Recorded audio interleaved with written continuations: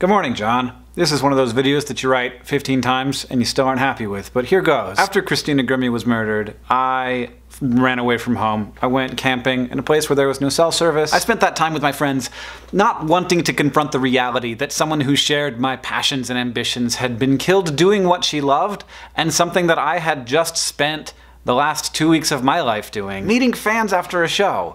And I spent that time crying, and feeling the frailness of my own body in a way I never had before. Understanding how easy it is to have it all taken away. That, I imagine, is similar to how every police officer in America felt after the shootings in Dallas. Looking at their family and knowing that they could be taken away not just in the course of doing their job, but because of what their job is. A difficult job that is usually done well. And now the ones that have options of exploring other careers, maybe they're thinking this job isn't so worth it anymore. And then I think of my neighbors and friends and fellow creators who have felt the frailness of their own bodies for their whole lives, and the frailness of their children's and their parents' bodies, not because of what they do, but because of the color of their skin, because of who they are. People who have lived their whole lives under that weight, because they're more likely to be seen as a threat, because they know that any insignificant little move that could be seen as a suspicious action could mean the end of them. I can never fully understand that experience,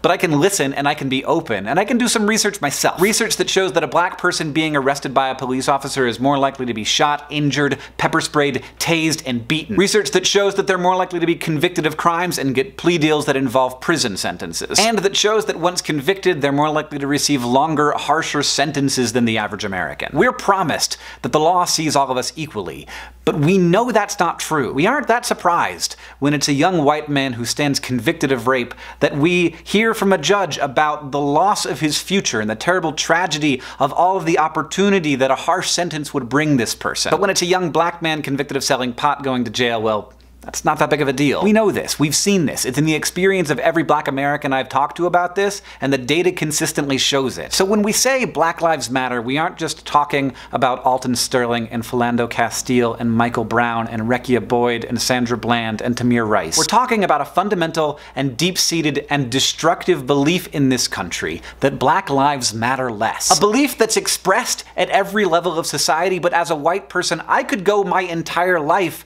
completely ignorant of of, but that black Americans are fully aware of and made aware of, even as children. To the black members of this community, thank you for being a part of what we're doing here, and thank you for your strength and your courage, and for sharing your experiences with us. A while back, John, you created a playlist of a bunch of different creators sharing their perspectives and experiences on this stuff, and I've added to that, and I've put it down in the description. We only get to have our one life through which to experience the world, and we're lucky to be able to have this platform through which we can understand other people's experiences of the world. So everybody, if you can, if you have time today, say, just take some time to listen. Not to shout or judge or fight or dismiss or, or even comment.